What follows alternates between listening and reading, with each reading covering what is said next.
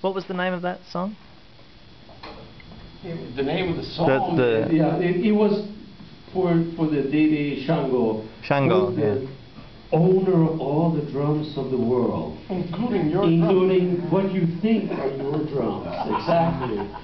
And Shango was actually he was a king in, in Yoruba land in Western Africa back maybe six or seven centuries ago, and, and they were attacked by the Hausa people from the north, the Muslims that overran the city of Oyo where they, where they lived, and Shango died, and somebody saw his spirit disappear into a tree, and from that point on, he was no longer just a dead king, he was an actual, official spirit with superpowers.